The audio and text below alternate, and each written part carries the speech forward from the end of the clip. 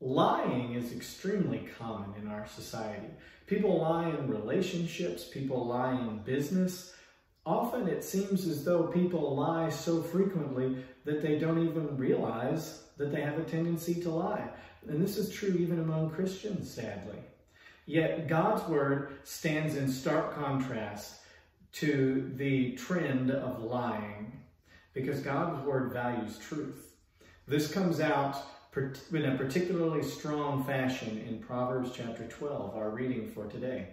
There are at least five instances in this chapter where lying is referenced.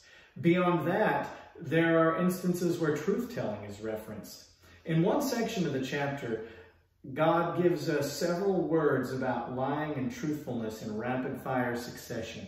Here's Proverbs 12, starting in verse 19. Truthful lips endure forever but a lying tongue is but for a moment. Deceit is in the heart of those who devise evil, but those who plan peace have joy. No ill befalls the righteous, but the wicked are filled with trouble. Lying lips are an abomination to the Lord, but those who act faithfully are his delight. Truthfulness.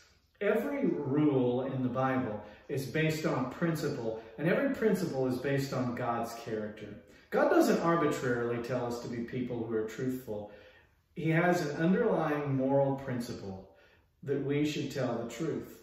And that principle is not even arbitrary because it is based on the fact that God is the truth.